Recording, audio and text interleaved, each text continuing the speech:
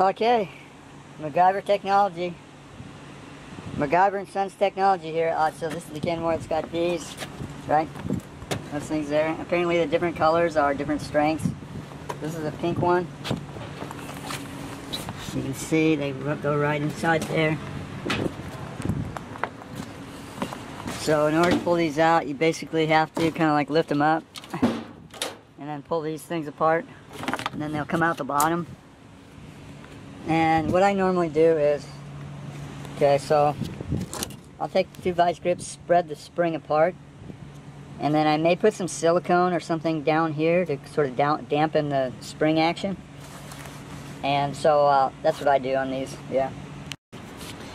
So you just, uh, you have to pull on this and then this will come out and then you can kind of adjust that so it pops off.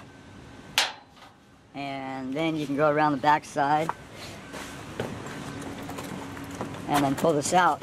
so typically this will, uh, the symptom is basically it goes all over the place when it spins.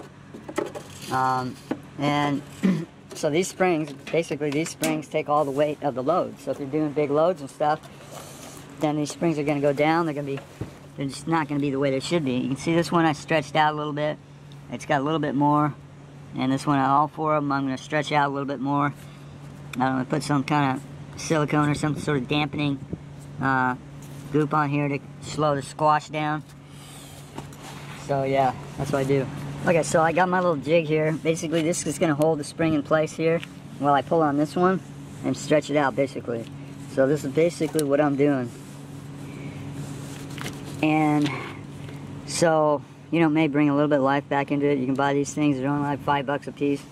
But, you know, I mean, this is one way to kind of fix it. I fixed them before like this, so of course the professionals, they'd say just replace them.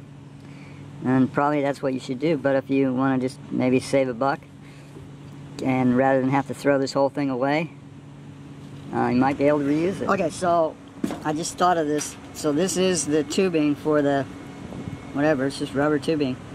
You can find these on old washing machines. They're the water level sensor tube. we can take this, stick it in here. Now, I'm just experimenting at this point, so I don't really know if this is going to work or not, but theoretically it's going to give it a little bit more uh, dampening capability, and we can glue this here and make sure that that's going to stay in place. And then that, this part goes down on top of that. But yeah, that's uh, just one more added protection. And basically what I do is I, I make these a little bit shorter than the, than the spring itself because this part goes down into there. And so, yeah. Anyway, that's something else you can try.